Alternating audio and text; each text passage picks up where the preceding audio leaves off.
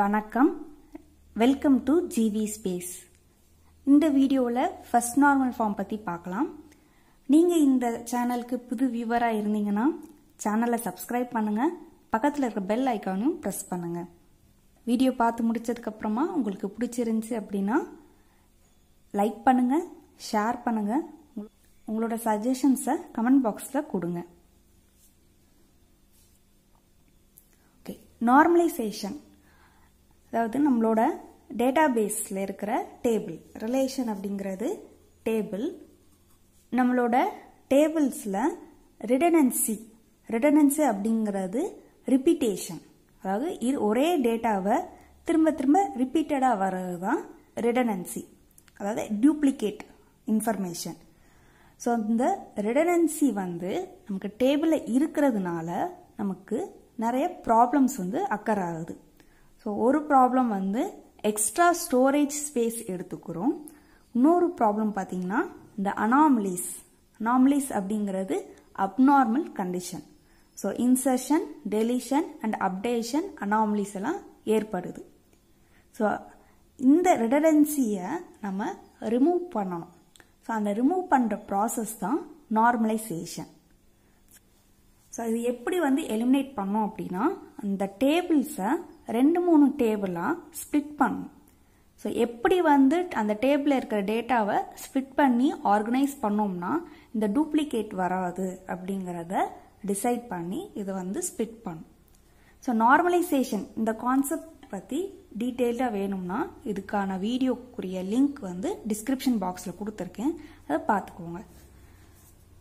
So நார்மலைசேஷனோட process எப்படி இருக்கும்னா level by லெவலாக நடக்கும். அதாவது ஸ்டேஜ் பை ஸ்டேஜாக அந்த ஆர்கனைசேஷன் ஒர்க்கை வந்து கேரி அவுட் பண்ணும். ஸோ டோட்டலாக வந்து சிக்ஸ் நார்மல் ஃபார்ம்ஸ் இருக்குது first normal form second normal form third normal form Boyce Codd normal form fourth normal form fifth normal form so இதில் இன்னைக்கு நம்ம ஃபஸ்ட்டு நார்மல் ஃபார்ம் பற்றி பார்க்கலாம்.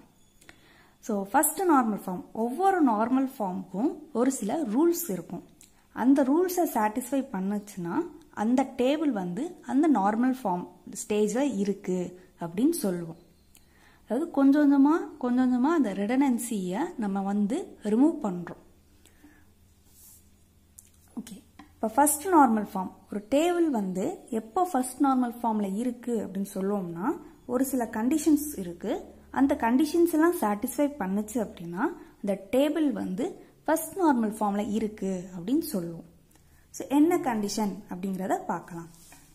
So a table should contain only atomic valued attributes அதாவது டேபிளில் நமக்கு வந்து atomic value attributes மட்டும்தான் இருக்கணும் அப்படின்னு சொல்கிறாங்க ஆட்ரிபியூட்ஸ் அப்படிங்கிறது காலம் ஆட்ரிபியூட்ஸ் அப்படிங்கிறது காலம் அட்டாமிக் அட்டாமிக் அப்படின்னா சிங்கிள் வேல்யூ அட்டாமிக் அப்படிங்கிறது சிங்கிள் வேல்யூ அதாவது ஒரு வேல்யூ இருக்குது அப்படின்னா அந்த வேல்யூ வந்து இருக்கிறதே அதுதான் கடைசி டீடைல் அதை ரெண்டு மூணு வேல்யூவாக நம்மளால் ஸ்ப்ளிட் பண்ண முடியாது. அதுதான் வந்து அட்டாமிக் வேல்யூ ஸோ ஒரு டேபிளில் நமக்கு வந்து எந்த ஒரு செல் எடுத்துட்டாலும் அந்த செல்லில் அட்டாமிக் வேல்யூ மட்டும்தான் இருக்கணும். ஸோ அப்போ அதோட மீனிங் என்ன அப்படின்னா இன்டைரக்ட் மீனிங் இதில் வந்து மல்டி வேல்யூட் ஆட்ரிபியூட்ஸ் இருக்கக்கூடாது. மல்டி வேல்யூட் ஆட்ரிபியூட்ஸோ இல்லை கம்போசிட் ஆட்ரிபியூட்ஸோ இருக்கக்கூடாது. மல்டி வேல்யூட் ஆட்ரிபியூட்ஸ் அப்படின்னா மோர் தென் ஒன் வேல்யூ இருக்கிறது மல்டி வேல்யூட் ஆட்ரிபியூட்ஸ் ஒரு செல்லில் ஒரு இன்ஃபர்மேஷனுக்கு ரெண்டு மூணு டேட்டா இருக்கிறது தான் மல்டி வேல்யூட் கம்போசிட் அப்படின்னா நிறைய டேட்டா அந்த காலமில் அந்த இன்ஃபர்மேஷன் வந்து நிறைய டேட்டாவோ சேர்ந்து இருக்கிறது தான் கம்போசிட் இப்போ இதுக்கு எக்ஸாம்பிள் நான் சொல்கிறேன்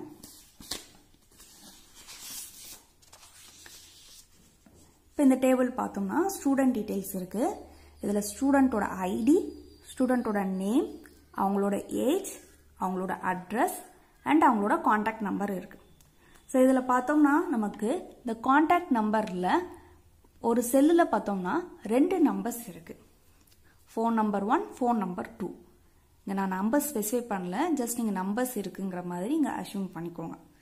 ஸோ இங்கே வந்து பார்த்தோம்னா இதுதான் வந்து மல்டி வேல்யூட் ஆட்ரிபியூட்ஸ் அப்படின்னு சொல்லுவோம். ஒரு காலம் அதாவது ஒரு செல் அப்படின்னு எடுத்துட்டோம்னா அதில் ஒரு வேல்யூ தான் இருக்கணும். இப்போ பார்த்தீங்கன்னா ஸ்டூடெண்ட் ஐடியில் பார்த்தீங்கன்னா ஒரே ஒரு ஐடி மட்டும்தான் இருக்கும். நேம்னு பார்த்தோம்னா ஒரு நேம் மட்டும்தான் இதில் இருக்கும்.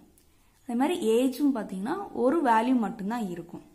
பட் இங்கே பார்த்தீங்கன்னா அட்ரஸ்லையும் காண்டாக்ட் நம்பர்லையும் அப்படி இல்லை. காண்டாக்ட் நம்பரில் எப்படி இருக்குன்னா மோர் தென் ஒன் இன்ஃபர்மேஷன் இருக்குது ஸோ இதை தான் வந்து மல்டி வேல்யூட் ஆட்ரிபியூட் அப்படின்னு சொல்லுவோம். ஸோ இந்த மாதிரி இருக்கக்கூடாது. ஃபர்ஸ்ட் ஒரு டேபிள் வந்து ஃபர்ஸ்ட் நார்மல் ஃபார்மில் இருக்கணும் அப்படின்னா இந்த மாதிரி மல்டி வேல்யூட் ஆட்ரிபியூட்ஸ் இருக்கக்கூடாது. ஓகே நெக்ஸ்ட் இந்த அட்ரஸ் பார்த்தோம்னா நமக்கு ரெண்டு டிவிஷனாக இங்கே வந்து கொடுத்துருக்காங்க. ஒன்று வந்து இந்த சிட்டி ஆர் டிஸ்ட்ரிக்ட் இன்னொன்று வந்து அதோட ஸ்டேட் இன்ஃபர்மேஷன் இது ரெண்டையும் கம்பைன் பண்ணி இங்கே கொடுத்துருக்காங்க. ஸோ இப்படி வந்து ரெண்டு மூணு இன்ஃபர்மேஷன் சேர்ந்து இருக்கிறது வந்து கம்போசிட் ஆட்ரிபியூட் அப்படின்னு சொல்லுவோம். ஸோ இதை வந்து என்ன செய்யணும்னா நம்ம தனித்தனியாக ஸ்ப்ளிட் பண்ணணும். ஸோ இந்த மாதிரி கம்போசிட் ஆட்ரிபியூட்டாக இருந்துச்சு அப்படின்னா நம்ம நார்மலைஸ்டு ஃபார்முக்கு மாற்றணும் அப்படிங்கிறப்போ கம்போசிட் ஆட்ரிபியூட்டை ரெண்டு மூணு காலம்ஸாக நமக்கு தேவையான அளவுக்கு ஸ்ப்ளிட் பண்ணணும். இப்போ இந்த அட்ரஸை நம்ம வந்து ரெண்டு காலமாக ஸ்ப்ளிட் பண்ணிக்கலாம். ஒன்று அந்த டிஸ்ட்ரிக்ட் ஆர் சிட்டியை மென்ஷன் பண்ணுறதுக்கு இன்னொன்று வந்து அந்த ஸ்டேட் இன்ஃபர்மேஷனை மென்ஷன் பண்ணுறதுக்கு இப்போ கான்டாக்ட் நம்பர் இந்த மல்டி வேலிட் ஆட்ரிபியூட்டை எப்படி வந்து நம்ம சால்வ் பண்ணலாம்? இதை எப்படி ஹேண்டில் பண்ணலாம் அப்படின்னா இதை ரெண்டு கா ரோஸாக நம்ம ரிப்பீட்டடாக எழுதலாம். இப்போ இந்த இருக்கு இல்லையா? இப்போ இந்த student number one Geetha age eighteen அவங்களோட அட்ரஸ் சென்னை தமிழ்நாடு அவங்களோட ஃபோன் நம்பர் வந்து ஃபஸ்ட்டு ஃபோன் நம்பர் மட்டும் இங்கே எழுதிடலாம். நெக்ஸ்ட் நியூவாக ஒரு ரோ இன்ட்ரடியூஸ் பண்ணி அதில் இதே டீட்டெயில்ஸ் எழுதி செகண்ட் ஃபோன் நம்பர் மட்டும் நம்ம எழுதலாம். ஸோ இது வந்து நான் இங்கே எழுதியிருக்கேன். இப்போ பார்த்தீங்கன்னா ஸோ நம்ம வந்து அந்த கம்போசிட் ஆட்ரிபியூட்டை வந்து தனித்தனியாக நம்ம வந்து ஸ்ப்ளிட் பண்ணி நியூவாக ஆட்ரிபியூட் இன்ட்ரடியூஸ் பண்ணி இங்கே கொடுத்துருக்கோம். நெக்ஸ்ட் வந்து காண்டாக்ட் நம்பர் வந்து என்ன செஞ்சுருக்கோம்னா யாருக்கெல்லாம் ரெண்டு காண்டாக்ட்ஸ் நம்பர் இருக்கோ அவங்களுக்கு ரிப்பீட்டடாக திரும்ப நியூவாக ஒரு ரோ க்ரியேட் பண்ணி அந்த செகண்ட் ஃபோன் நம்பரை நம்ம இங்கே அப்படி கொடுத்துருக்கோம். ஸோ ஒரு டேபிளில் இந்த மாதிரி மல்டி வேலிட் ஆட்ரிபியூட் இருந்தாலோ கம்போசிட் ஆட்ரிபியூட் இருந்தாலோ அதை வந்து நம்ம இந்த மாதிரி மாற்றிக்கலாம் ஸோ இப்படி மாற்றுறதுனால இப்போ பார்த்தீங்கன்னா அந்த கண்டிஷன் நமக்கு சாட்டிஸ்ஃபை ஆகும். ஸோ இதில் வந்து மல்டி வேல்யூட் ஆட்ரிபியூட்டும் இல்லை கம்போசிட் ஆட்ரிபியூட்டும் இல்லை. எந்த ஒரு செல் எடுத்துக்கிட்டாலும் அதில் ஒரே ஒரு வேல்யூ மட்டும்தான் இருக்குது அட்டாமிக் வேல்யூ மட்டும்தான் எல்லா செல்ஸ்லையும் இருக்குது ஸோ நெக்ஸ்ட்டு ரூல் என்னன்னு பார்த்தோம்னா values stored in the column should be of the same domain. Domain அப்படிங்கிறது டேட்டா டைப் டொமைன் அப்படிங்கிறது இங்கே டேட்டா டைப்பை மென்ஷன் பண்ணுறாங்க ஸோ இங்கே எந்த ஒரு காலம் எடுத்துட்டாலும் அந்த காலமில் இருக்கிற வேல்யூஸ் எல்லாமே ஒரே டைப்பாக இருக்கணும். இப்போ இதில் பார்த்தீங்கன்னா எல்லாமே நேம்ஸ் கேரக்டர்ஸில் இருக்குது இதில் பார்த்தீங்கன்னா ஏஜ் வந்து இங்கே இன்டீஜர் வேல்யூவில் இருக்குது இங்கே வந்து கேரக்டரில் இருக்குது ஸோ இந்த மாதிரி இருக்கக்கூடாது. ஒன்று எல்லாமே வேர்டிங்ஸில் இருக்கணும் இல்லை எல்லாமே அந்த இன்டீஜர் வேல்யூஸில் இருக்கணும்.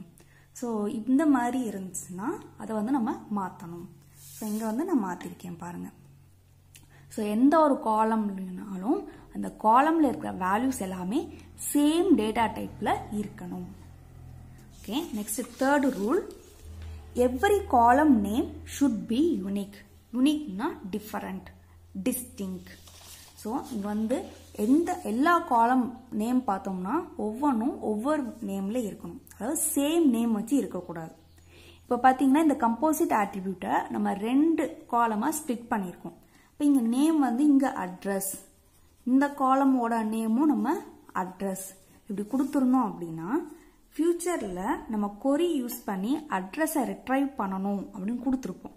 அப்போ அட்ரஸ் அப்படின்னா எந்த அட்ரஸை இது வந்து ஆக்சஸ் பண்ணணும் அப்படிங்கிற கன்ஃபியூஷன் அரைஸ் ஆகும். ஸோ அதனால் டேபிளில் எல்லா காலம்ஸ்க்கும் யுனிக் நேம் தான் இருக்கணும். Next rule no duplicate rows should exist டேபிளில் டூப்ளிகேட் ரோஸ் வந்து இருக்கக்கூடாது. ஸோ இங்கே பார்த்தீங்கன்னா நமக்கு வந்து டூப்ளிகேட் ரோஸ் வந்து இல்லை. இப்போ பார்த்தீங்கன்னா இங்கே பாருங்கள் கீதா அவங்களோட இந்த ரோவுக்கும் இந்த ரோவுக்கும் டிஃப்ரென்ஸ் பார்த்தோம்னா இந்த ஃபோன் நம்பர் இருக்குது ஸோ அப்போ இது வந்து டிஃப்ரெண்ட்டான ரோ தான். சேம் டீட்டெயிலே இருக்கக்கூடாதுன்னு சொல்கிறாங்க இப்போ எக்ஸாம்பிள் இந்த student number S zero zero five இது ஏது சங்கீதா அவங்களோட name Sangeetha age eighteen district Theni state Tamil Nadu contact number B one same நம்பரே நம்ம கொடுத்துருக்கோம். அப்படின்னா இந்த மாதிரி சேம் ரெக்கார்டை திரும்ப ரிப்பீட்டடாக இருக்கக்கூடாது. நெக்ஸ்ட் பார்த்தோம்னா primary or composite key should be defined so இதோட மீனிங் என்னன்னா டேபிளில் கண்டிப்பாக ஒரு பிரைமரி கீ நம்ம டிஃபைன் பண்ணியிருக்கணும் இஃப் சப்போஸ் நமக்கு பிரைமரி கீ அந்த டேபிளில் இல்லை அப்படிங்கிற பட்சத்தில் நம்ம கம்போசிட் பிரைமரி கீயாவது டிஃபைன் பண்ணணும். கம்போசிட் பிரைமரி கீ அப்படிங்கிறது ஒன்றும் இல்லை. மோர் தென் ஒன் காலம் அதாவது நமக்கு ப்ரைமரி கீ ஒரே ஒரு காலமாக மட்டும் ப்ரைமரி கீயாக செட் பண்ண முடியாத பட்சத்தில் ரெண்டு மூணு காலம் சேர்ந்து ப்ரைமரி கீயை ஆக்ட் பண்ணுச்சு அப்படின்னா அது வந்து கம்போசிட் கீ இப்போ இந்த டேபிளில் எடுத்துக்கிட்டோம் அப்படின்னா நமக்கு வந்து ஸ்டூடெண்ட் ஐடி இந்த காலமை நம்மளால் ப்ரைமரி கீயை செட் பண்ண முடியாது.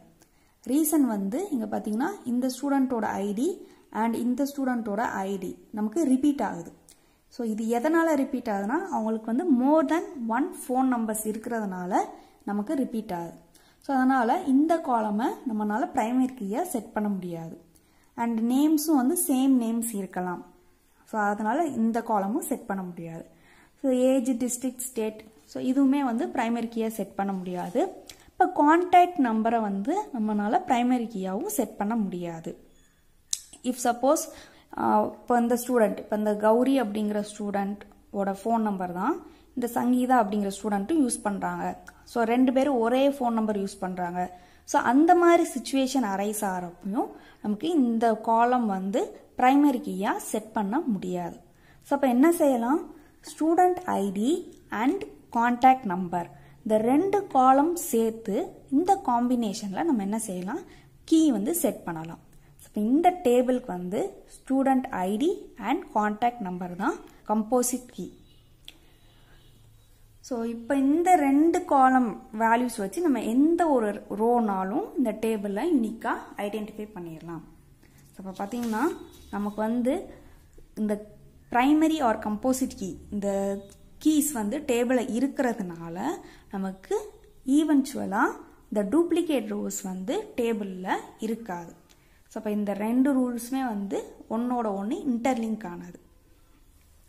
Next one ordering of rows or columns doesn't matters so நமக்கு இந்த டேபிளில் பார்த்தீங்கன்னா காலம்ஸை மாற்றினாலும் சரி இந்த இப்போ ஸ்டூடெண்ட் ஐடியா லாஸ்ட்டாக போட்டாலும் சரி இந்த காண்டாக்ட் நம்பரை ஃபஸ்ட்டாக போட்டாலும் சரி காலம்ஸை எப்படி இன்டர்சேஞ்ச் பண்ணாலும் நமக்கு எந்த ஒரு சேஞ்சஸும் வராது. அதே மாதிரி ரோஸும் நம்ம எந்த ஆர்டர்லனாலும் போட்டுக்கலாம் வந்து நம்ம ஃபஸ்ட்டு நார்மல் ஃபார்முக்கான ரூல்ஸ் எல்லாமே பார்த்துட்டோம். அந்த ரூல்ஸ்க்கு ஏற்ற மாதிரி இந்த டேபிளையும் என்ன பண்ணியிருக்கோம்னா நம்ம சேஞ்ச் பண்ணியிருக்கோம் ஸோ அதை வந்து இப்போ இந்த டேபிள் வந்து சாட்டிஸ்ஃபை ஆகுது.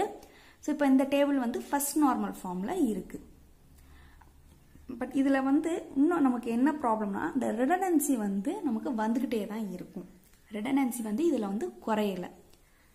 ஏன்னா இப்போ வந்து ஒரு ஸ்டூடெண்ட் வந்து ஃபைவ் ஃபோன் நம்பர்ஸ் வச்சுருக்காங்கன்னா அதே ஸ்டூடெண்ட்டோட டீட்டெயில் வந்து நமக்கு ஃபைவ் டைம்ஸ் ரிப்பீட்டடாக இந்த டேபிளில் இருக்கும். ஸோ இதை வந்து இன்னும் எப்படி நம்ம ரீஃபைன் பண்ணலாம் அப்படின்னா இந்த டேபிளில் நம்ம வந்து ரெண்டாக ஸ்ப்ளிட் பண்ணிடலாம். ஏன்னா நமக்கு இந்த காண்டாக்ட் நம்பர்னால தான் நமக்கு இந்த டூப்ளிகேஷன்ஸ் வந்து அக்கர் ஆகுது. ஸோ அப்போ அந்த காண்டாக்ட் நம்பரை தனி ஒரு டேபிளில் நம்ம என்ன பண்ணிக்கலாம்னா ஸ்ப்ளிட் பண்ணி போட்டுக்கலாம் இப்போ பார்த்தீங்கன்னா ஸோ நமக்கு வந்து ஸ்டூடெண்ட்டோட டீட்டெயில்ஸ் ஒரு டேபிளும் காண்டாக்ட் நம்பர் ஒரு டேபிளையும் நம்ம போட்டிருக்கோம். ஸோ இப்போ பார்த்தீங்கன்னா இந்த டேபிளில் நமக்கு வந்து ஸ்டூடெண்ட் ஐடியை வந்து நம்ம ப்ரைமரி கீயாக செட் பண்ணிக்கிறலாம் இந்த டேபிளை பார்த்தோம்னா நமக்கு ஸ்டூடெண்ட்டோட ஐடியை வந்து ப்ரைமரி கீயாக செட் பண்ண முடியாது. ஸோ இது வந்து contact number and student ID இது ரெண்டுமே சேர்த்து தான் நம்ம வந்து ப்ரைமரி கீயாக செட் பண்ண முடியும். ஸோ இது ரெண்டும் சேர்ந்தது தான் நமக்கு இங்கே primary key or composite key அப்படிங்கிற சொல்லலாம். இந்த டேபிளில் இருக்கிற இந்த ஸ்டூடெண்ட் ஐடி இது வந்து ஃபாரின் கீயாக நமக்கு வந்து ஒர்க் பண்ணும்.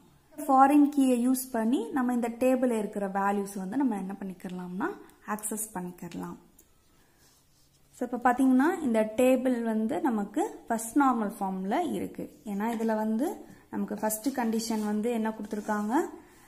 Contain only atomic valued attributes so நமக்கு வந்து எல்லா செல்லுலுமே ஒரு வேல்யூ மட்டும்தான் இருக்குது செகண்ட் ரூல் வந்து எல்லாமே சேம் டொமைனில் இருக்கணும். அதாவது டேட்டா டைப் இந்த காலமில் இருக்கிற வேல்யூஸ் எல்லாமே ஒரே டேட்டா டைப்பில் இருக்கணும். நெக்ஸ்ட்டு பார்த்தோம்னா எல்லா காலம்ஸ்க்கும் யூனிக் நேம் இருக்கணும். ஸோ இதில் பார்த்தோம்னா இந்த டேபிளில் சேம் நேம் வச்சு எந்த ஒரு காலமும் இல்லை. அண்ட் இந்த டேபிளையும் சேம் நேம் வச்சு எந்த ஒரு காலமும் இல்லை. நெக்ஸ்ட்டு பார்த்தோம்னா நமக்கு வந்து இந்த primary key and composite key இந்த டேபிளில் இருக்கிறதுனால நமக்கு டூப்ளிகேட் ரோஸ் வந்து இல்லை.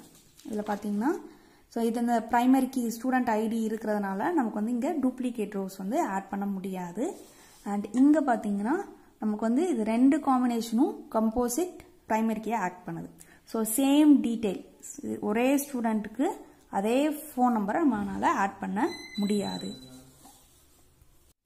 ஸோ நமக்கு ஃபர்ஸ்ட் நார்மல் ஃபார்ம் பொறுத்த வரைக்கும் ரொம்ப ரொம்ப இம்பார்ட்டண்ட்டான ரூல்ஸ் எதெல்லாம் பார்த்தோம்னா த ஃபஸ்ட்டு ரூல் ஸோ எல்லா செல்லிலுமே சிங்கிள் வேல்யூ மட்டும்தான் இருக்கணும். இந்த ஃபஸ்ட்டு ரூல் அண்ட் செகண்ட்லி இந்த primary key or composite key should be defined so இந்த ரெண்டு ரூல் தான் ரொம்ப ரொம்ப இம்பார்ட்டண்ட்டான rules in first normal form ஒரு டேட்டாபேஸ் நம்ம கிரியேட் பண்ண போகிறோம்னா ஃபஸ்ட்டு வந்து இஆர் டயக்ராம் டிசைன் பண்ணிடுவோம். அந்த இஆர் டயக்ராமில் இருக்கிற டீட்டெயில்ஸை தான் நம்ம டேபிளாக கன்வெர்ட் பண்ணுவோம். ஸோ இஆர் டயக்ராம்லேருந்து நம்ம டேபிளாக கன்வெர்ட் பண்ணுறப்போ அது வந்து ஃபஸ்ட்டு நார்மல் ஃபார்மில் தான் இருக்கும். ஸோ அப்படி ஃபஸ்ட்டு நார்மல் ஃபார்மில் இல்லை அப்படின்னா நம்மளோட டிசைனில் சம் டிஃபெக்ட்ஸ் இருக்குது இப்போ நம்ம இஆர் டயக்ராமில் நம்ம என்ன பண்ணோம்னா சேஞ்சஸ் பண்ணணும். ஸோ யூஸ்வலாக எப்பயுமே வந்து நமக்கு இஆர் டயக்ராம்லேருந்து கன்வெர்ட் பண்ணுறப்போ ஃபஸ்ட் நார்மல் ஃபார்மில் தான் எல்லா டேபிள்ஸும் இருக்கும். ஸோ அதுக்கப்புறமா நம்ம வந்து செக் பண்ணணும். செகண்ட் நார்மல் ஃபார்ம் வந்து சாட்டிஸ்ஃபை ஆகுதா? தேர்ட் நார்மல் ஃபார்ம் சாட்டிஸ்ஃபை ஆகுதா? அப்படிங்கிறத நம்ம வந்து வெரிஃபை பண்ணணும். ஸோ நெக்ஸ்ட் வீடியோவில் நம்ம செகண்ட் நார்மல் ஃபார்ம் பற்றி பார்க்கலாம். உங்களுக்கு இந்த வீடியோ பிடிச்சிருந்துச்சுன்னா லைக் பண்ணுங்கள் ஷேர் பண்ணுங்கள் உங்களோட சஜஷன்ஸை கமெண்ட் பாக்ஸில் கொடுங்க. நன்றி.